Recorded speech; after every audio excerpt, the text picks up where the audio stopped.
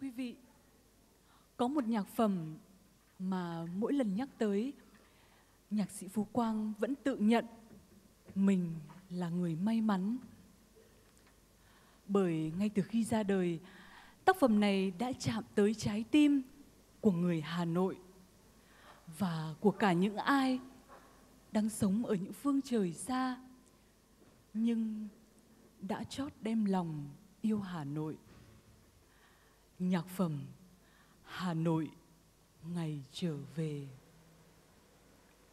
Nhạc phẩm được ra đời từ năm 1996. Sau một lần trở về, bước chân trên những con phố quen. Đặc biệt là con phố Khâm Thiên. Với những căn nhà đã trở thành tượng đài của trận bom B-52 lịch sử năm nào. Giờ đây, phố cũ phủ đầy rêu phong, những nắm chân nhang trong mùa đông lạnh. Trong lòng ông bỗng trào lên một nỗi xót xa, một nỗi nhớ quặn thắt. Hà Nội ơi, mỗi khi lòng xác sơ, tôi vội vã trở về. Lấy cho mình, dù chỉ là một chút bóng đêm trên đường phố quen, dù chỉ là một chiều sương răng phố vắng. Cho đến khi gặp những câu thơ của nhà thơ Doãn Thanh Tùng, vội vã trở về, vội vã ra đi. ngày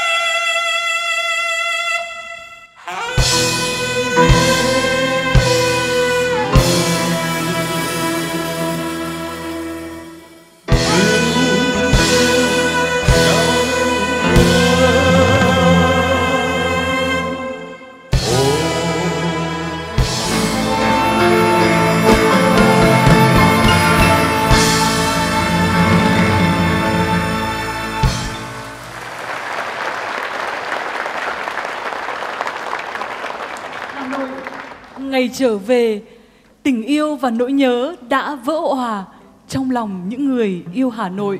Vâng, xin quý vị hãy dành một tràng vỗ tay nữa thật nồng nhiệt để cảm ơn phần trình diễn vô cùng tuyệt vời của các nghệ sĩ, nghệ sĩ violon Bùi Công Duy, nghệ sĩ kèn saxophone Trần Mạnh Tuấn, nghệ sĩ piano Trần Minh Tuấn và một người nghệ sĩ đã trở về Hà Nội sau những năm xa xứ, nghệ sĩ Xuân Hùng cùng nhóm múa Minh Họa, phi trường Mỹ Linh, biên đạo múa Nguyệt Thu. Kính thưa quý vị, trong đêm nhạc đặc biệt ngày hôm nay, quý vị đã thấy một bài hát cũ nhưng đã được hát bằng tiếng đàn của những người nghệ sĩ. Và nhạc sĩ Phú Quang đã muốn chứng minh một điều rằng nhạc nhẹ hay nhạc cổ điển chỉ cần đi đến tận cùng chắc chắn sẽ gặp nhau.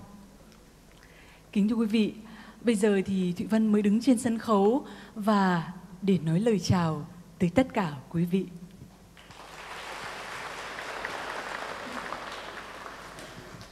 Kính thưa quý vị, đêm nhạc ngày hôm nay của chúng ta có sự tham gia chỉ đạo nghệ thuật nhạc sĩ Phú Quang, giám đốc sản xuất Tạ Đình Công, biên đạo múa Nguyệt Thu, ban nhạc Black Rose với các ca sĩ Ngọc Anh, Tùng Dương, Hồng Nhung, Tấn Minh, nghệ sĩ violon Bùi Công Duy, nghệ sĩ kèn saxophone Trần Mạnh Tuấn, nghệ sĩ piano Trần Minh Tuấn và tôi, một trái tim yêu nhạc Phú Quang tha thiết, Thụy Vân.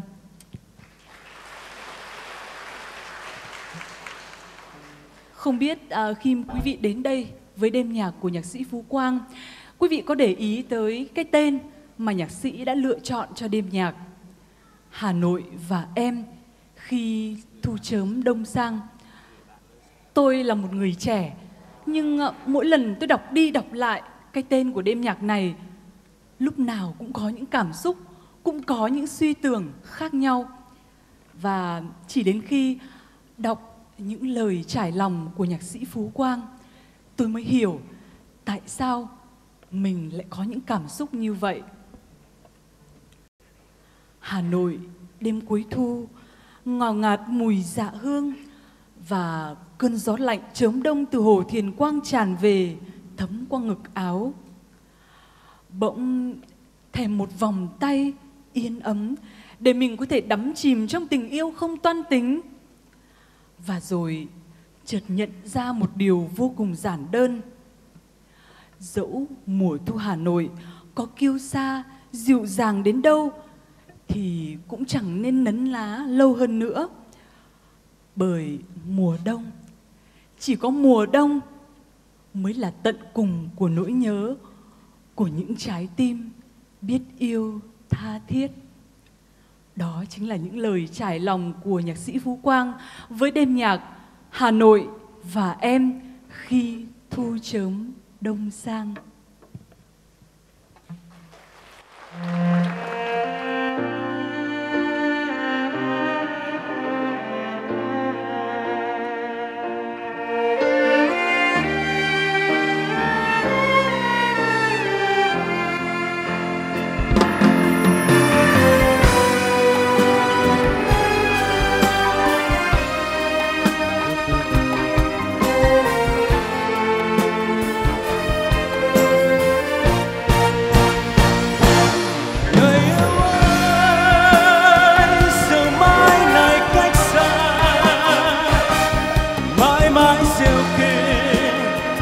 tình yêu chúng ta và tâm một điều thật giản dị. Càng xa em ta càng thấy dịu dàng hơn đôi nhẹ trên áo đôi môi em vời vợi đắm đắm ngàn sao em mong manh tựa rừng cây chưa rơi lá. Gió chiều bông trần sao xuyên mãi không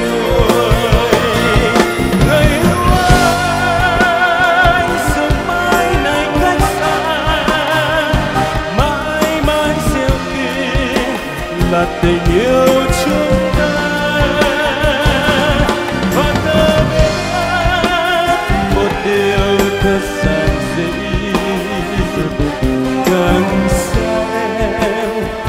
càng thấy hội ngộ rồi chia ly. Cuộc đời vẫn thế, dẫu là mặt trên lòng nàn khát khao hay đêm mịt mờ lấp lánh ngàn sao. Nếu không có người, cuộc đời trôi về đâu? Nếu không có người, mặt đất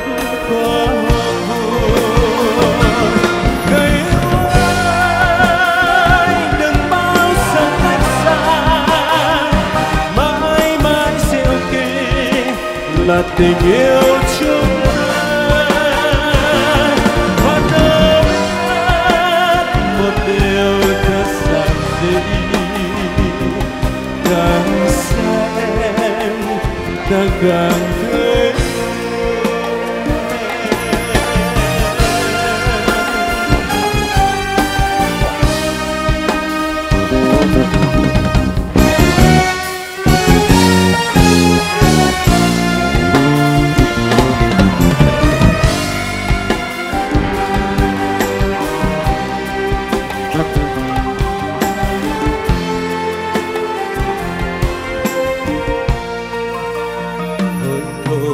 rồi chia ly. Cuộc đời vẫn thế, dẫu là mặt trời nồng nàn khát khao, hay đêm mịt mù lấp lánh ngàn sao. Nếu không có người, cuộc đời chưa về đâu. Nếu không có người, mặt đất có hoa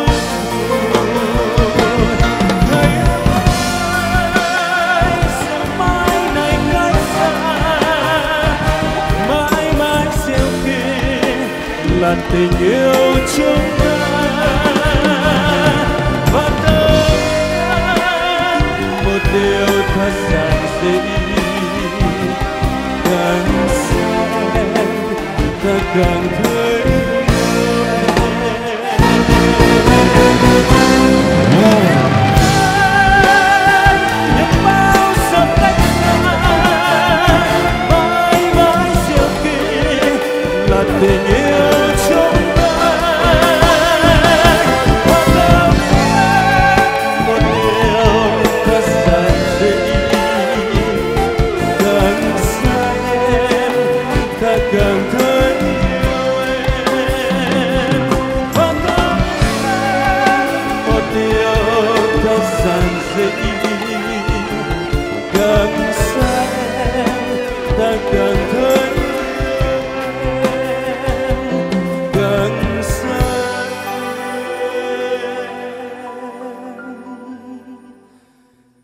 Càng thấy yêu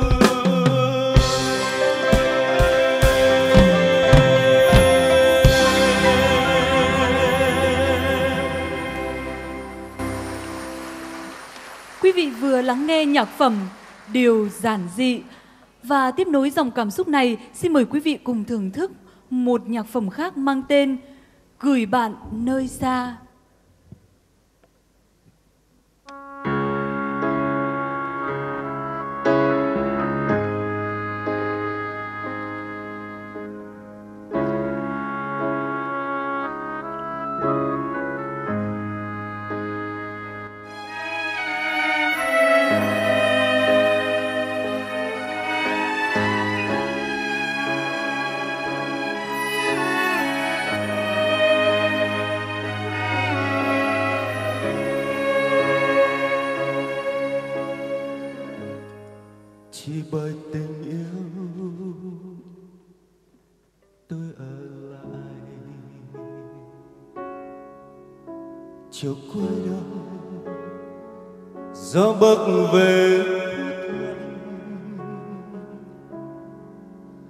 Bạn biết không?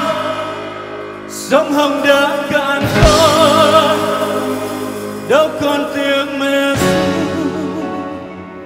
Đôi mơ nó trở về. Bạn biết không? Đâu còn tiếng mẹ ru. Đâu còn bước chân cha đôi mưa gió trở về. Chiều nay.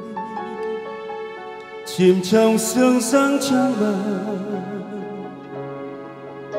chiều nay, chỉ còn câu hát thẫn thờ lấy rượu một mình, ôm mặt cỡ âm thầm riêng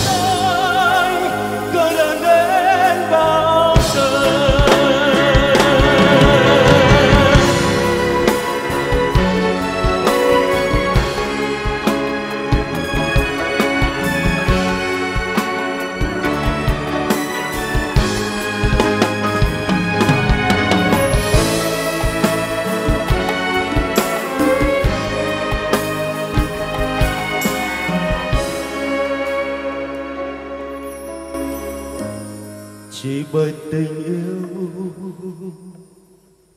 Tôi ở lại. Chiều cuối đông gió bước về buồn lạnh bạn biết không? Sông hồng đã cao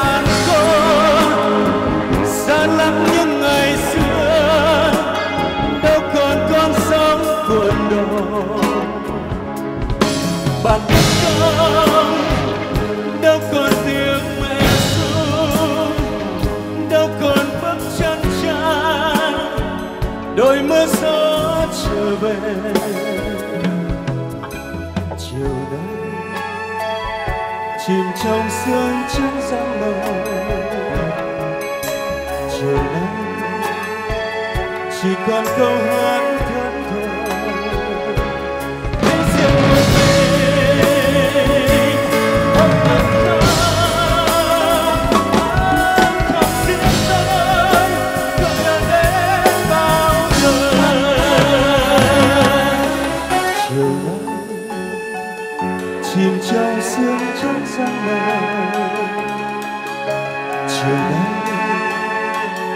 chỉ còn câu hát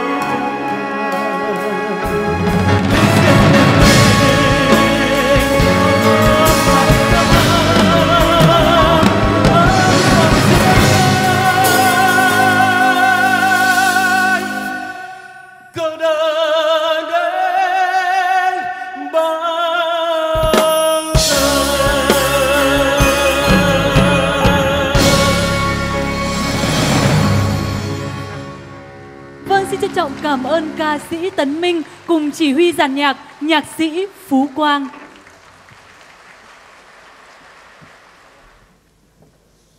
Chiều đông, sương răng phố vắng, hàng cây lặng câm, tháp cổ mặc trầm. Ta còn chờ ai? Nhạt phai sắc nắng, heo mây tan nhòa bao giấc mơ xưa.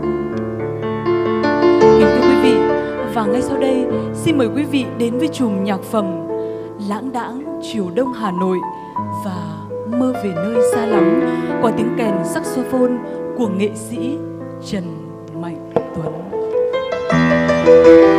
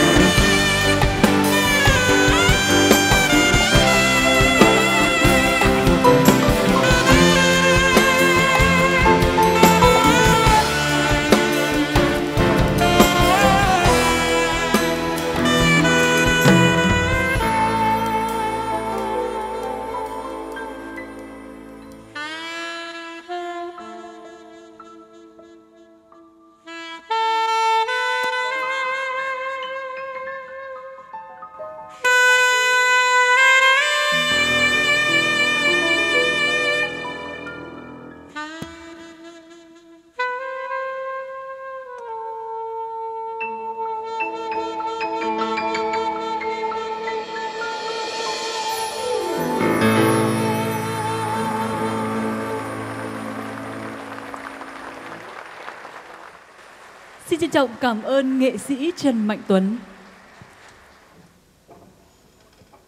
Ngoài kia mưa răng, ngoài kia bão nổi, ngoài kia mù khơi, ngoài kia bóng tối.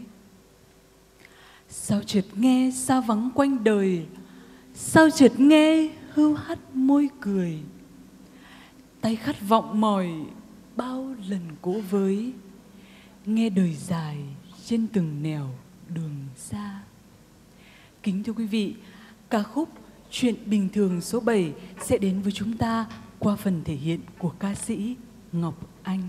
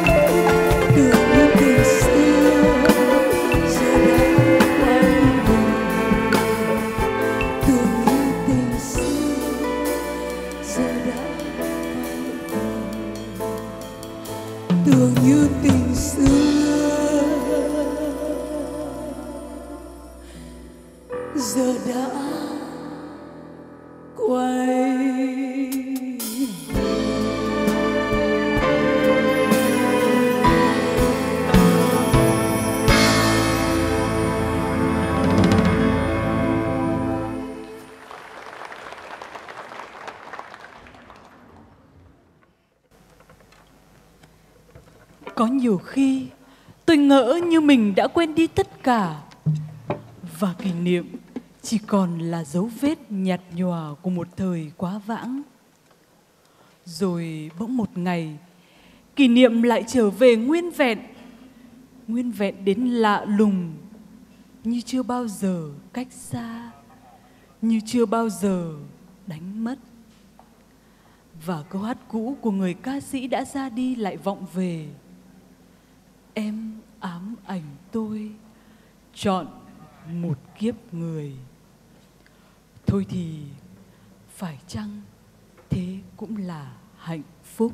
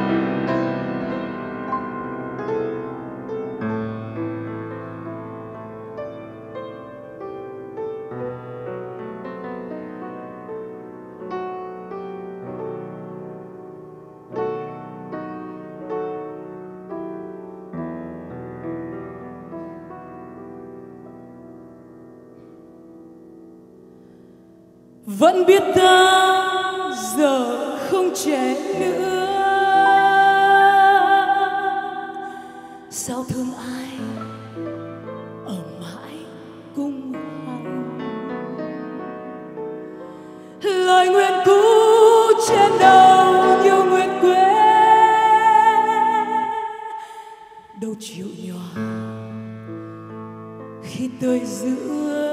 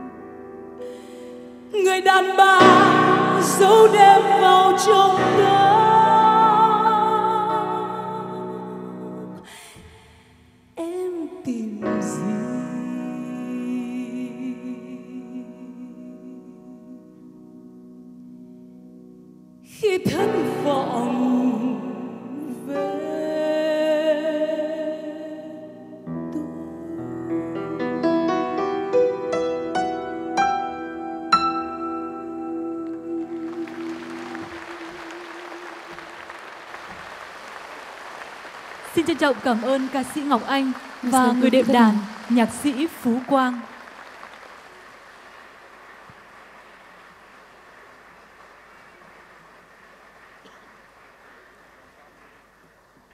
Anh yêu em như những điều anh tưởng tượng như con người nghĩ ra quỷ sứ quỷ sứ đông hơn con người và còn anh cũng chỉ tưởng tượng một đời. Nhạc phẩm, chuyện kể về tình yêu, nghệ sĩ độc tấu violon bùi công duy và nghệ sĩ piano trần minh tuấn.